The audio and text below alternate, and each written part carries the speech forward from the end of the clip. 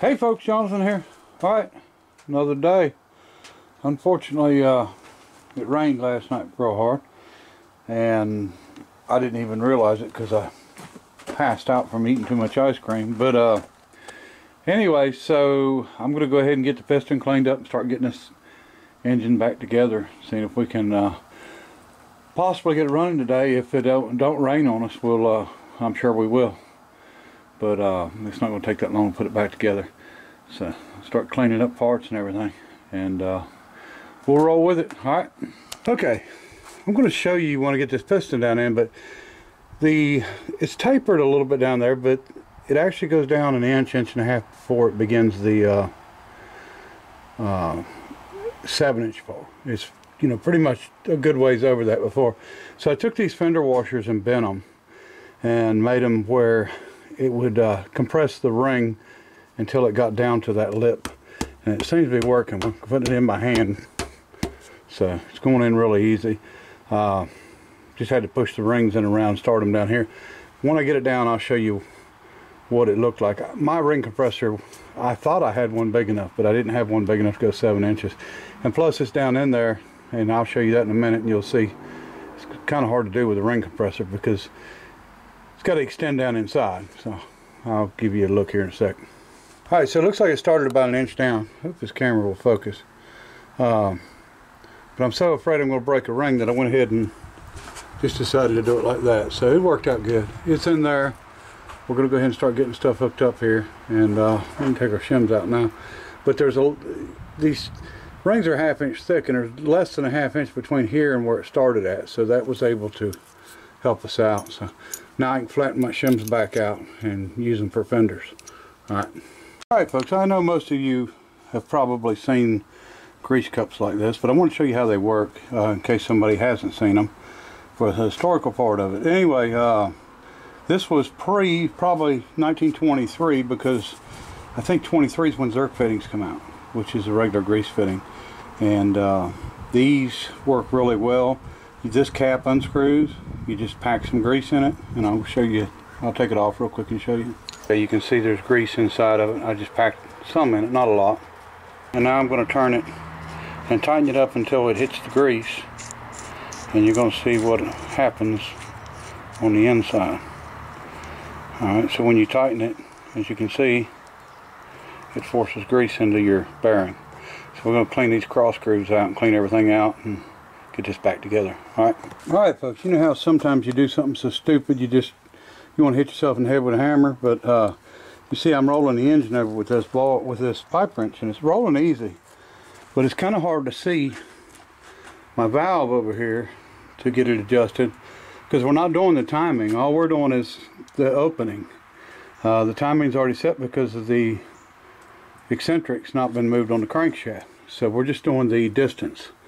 So we're trying to get that right. And so I've really, all I've got left is tighten everything up, make a gasket for here, make a head gasket and bolt, bolt them on. And then we can, you know, I'm going to move it and test it. But uh, like a dummy, I come around here with that pipe wrench and I put it on there and I went to turn it and it just instantly, like a piece of paper, just broke. So, uh, hmm, I got the parts, that's the good thing. And I can fix it.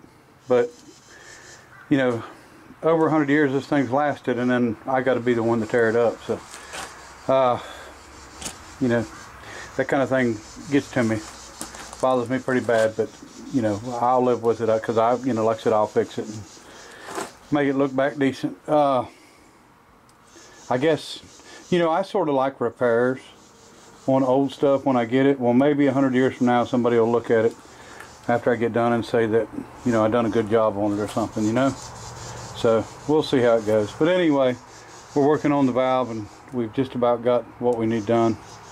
And uh, uh, I ended up putting O-ring in here temporarily until I get some rope seal. I didn't have anything small and I didn't, it didn't really want to fit in there good and I didn't want to force it. And so here's what I'm going to do now.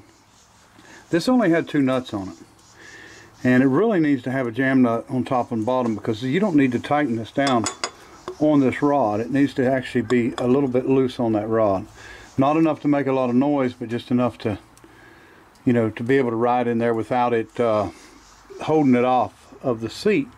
So what I'm going to do is I'm going to go take, I've got some other nuts like this, and I'll just throw them up on the lathe and, and uh, narrow them up. Uh, my main thing is I wanted to make sure there was going to be clearance for them. So I'm going to take this back apart and I'm going to add, uh, maybe move this nut to the bottom and add another one or two more on it. Uh, I just want to be able to lock it and leave it a little bit loose and that way it will uh, it'll work correctly and uh, it's early I think it's uh, 11:50 so it's not even noon yet so we should be good uh, to have everything together. If I've got the gasket material which I, I've got some compressed graphite I can use if I don't have any regular uh, material. So I've definitely got gasket material. Compressed graphite is just kind of hard to work with but uh, or maybe it's too easy to work with and that's why it breaks so bad. So anyway I'm gonna go narrow up a couple nuts for that and everything seems to be working out good. Time is good. Terrible next time one of y'all sees me just punch me in the mouth. Uh, so besides that everything's okay? I think we'll be running here shortly. Alright alright folks we got it uh, plumbed up. And uh, we just put it into the T there come out. So uh, we're ready to try it. I'm going to uh, get get a fire going. It's been raining the whole time. And uh, everything's wet but we're going to try to get a fire going see if we can run this thing. Excited about seeing whether it's going to make it or not. All right all right so we've got uh 15 pounds. We're going to wait until 20 when we get 20 we're going to try it. See if it'll run. It's not going to be long. It's climbing quick. All right. All right folks we're going to give it a try. See if it'll run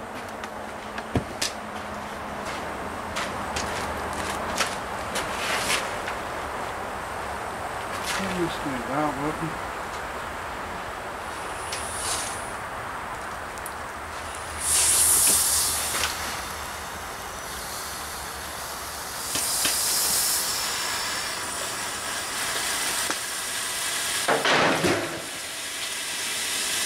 Tree.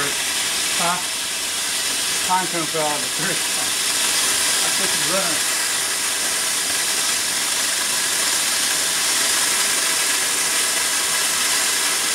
Looking back around there. It's alright. Yeah,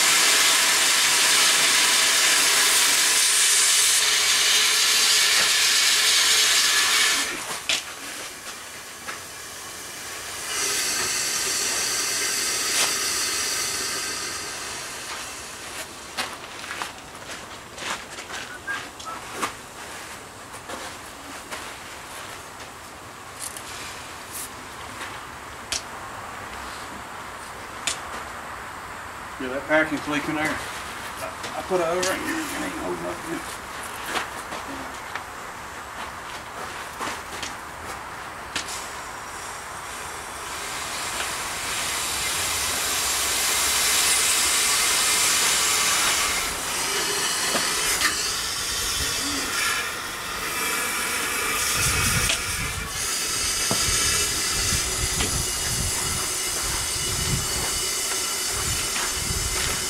Still going off there.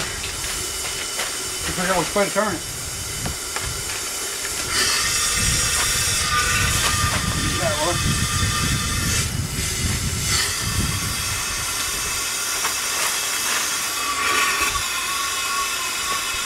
Turn that right this time.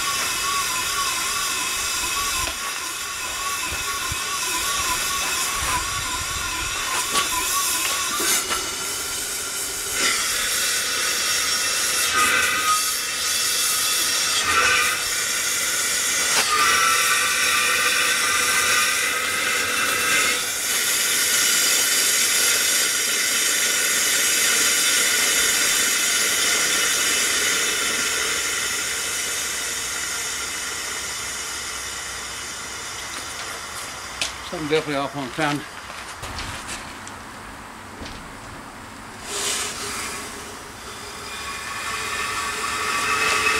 Come on, get your line now.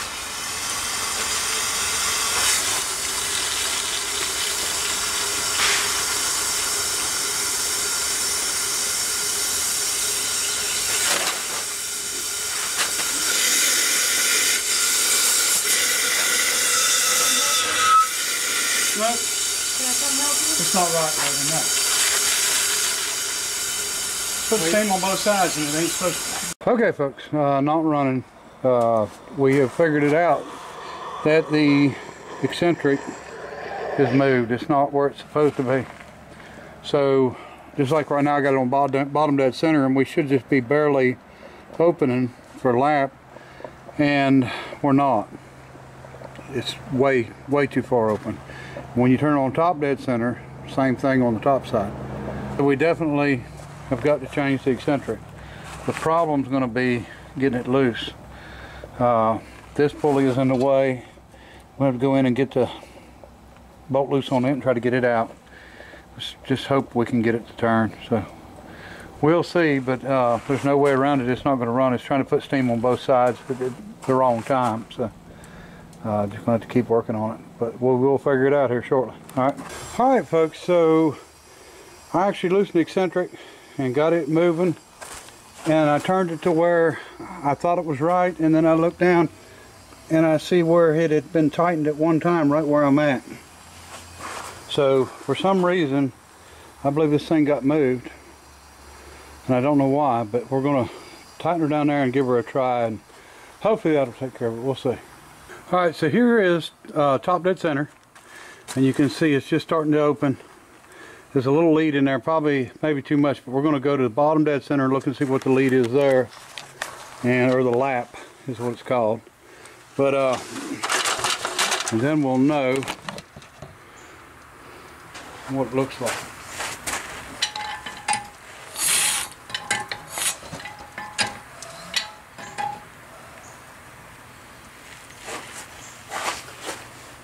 See, we're a little bit low, so we need to raise it up open this up and close the other.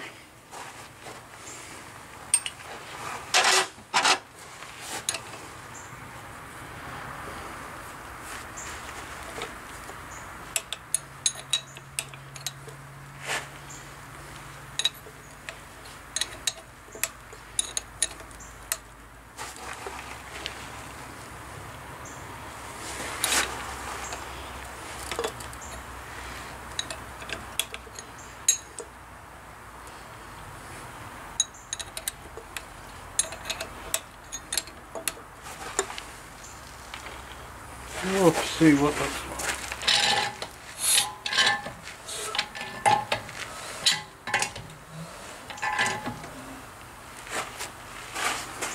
That's perfect right there. We don't have a lot of lead or a lot of lap, which we really don't want a lot. For my gasket, of course, that graphite, compressed graphite's just not a good gasket for that, but we're going to lock it down where it's at and then try it again. We've got uh, about 35 pounds of steam. Uh, so we should be should be fine. I just added some more water to the boiler. So I've been keeping up with it while I'm working on this. So I think that'll work. I hope. I don't know how it got off or why it was off, but the timing was definitely off on the eccentric. So let's give her a try here. All right, folks, we're ready to try it again. Uh, my O-rings ain't enough to uh, compress in there. They're not wide enough, so it's not working too well there. But either way, let's see if it'll run this time. Cross your fingers.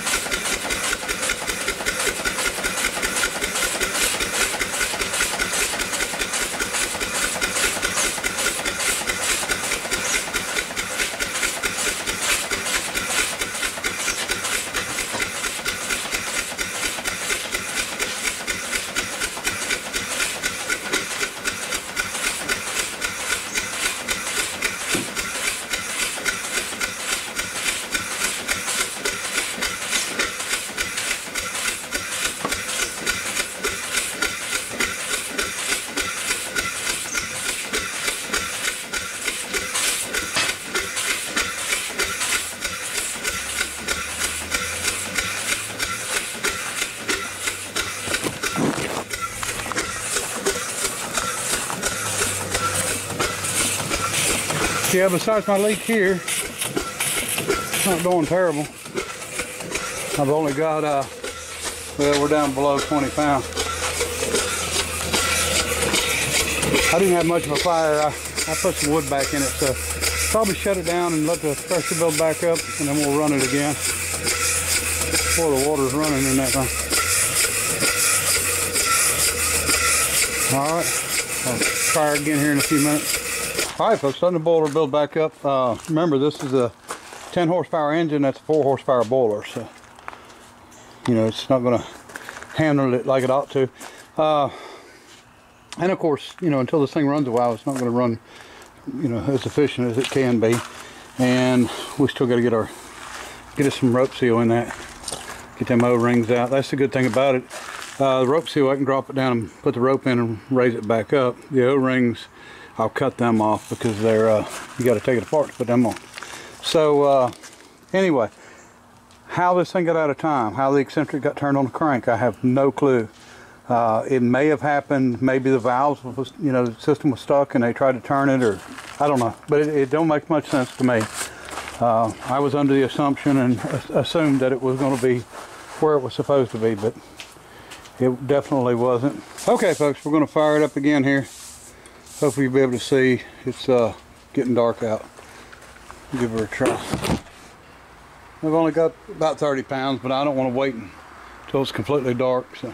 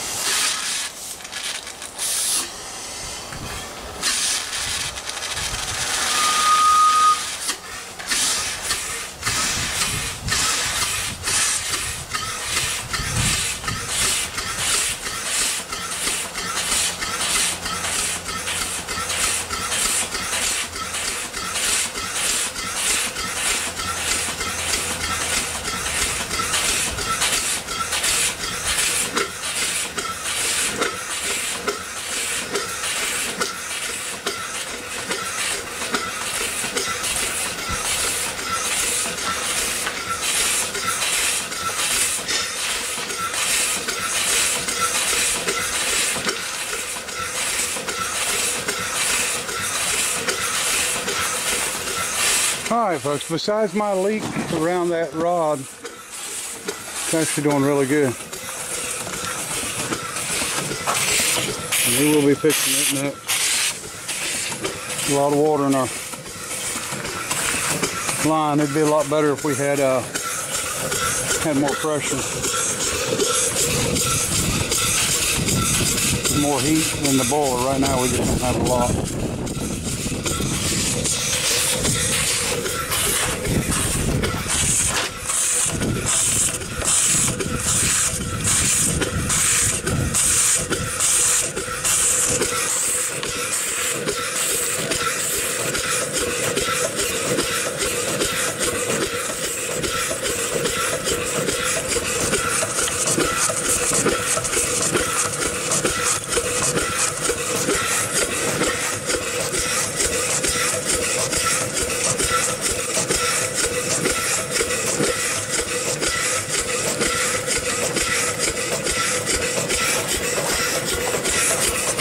Alright, I fixed a lot of my leaks there.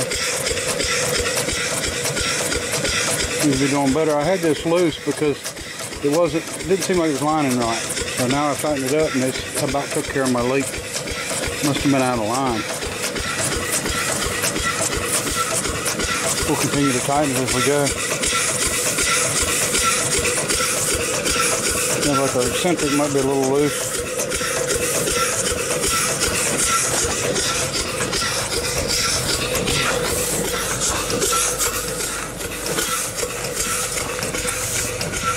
Really nice and quiet, no knocks.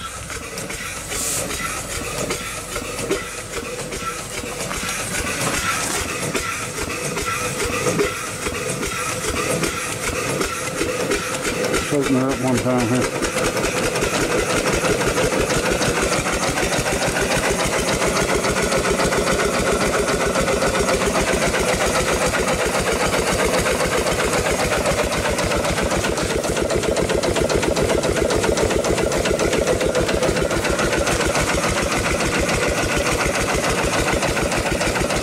That'll drain the boiler.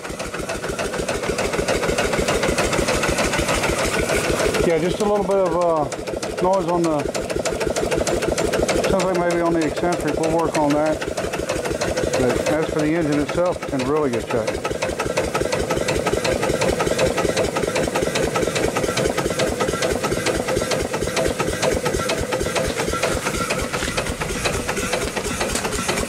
All right. Well, that's it. We'll do more to it. But for now, it is running. Running pretty good. First time in probably 80 or 100 years. It's hard to say. Uh, you've seen the rods on it, how rusted they were, how pitted. Now, as you can see, there's no no leak at all on this one. I think we about got this one. Yeah, it's leaking some. Still leaking some water out of it. We'll, uh, we'll get that taken care of. Get some packing in it. This got regular packing in it, but this was bigger packing, so I had it. I like it.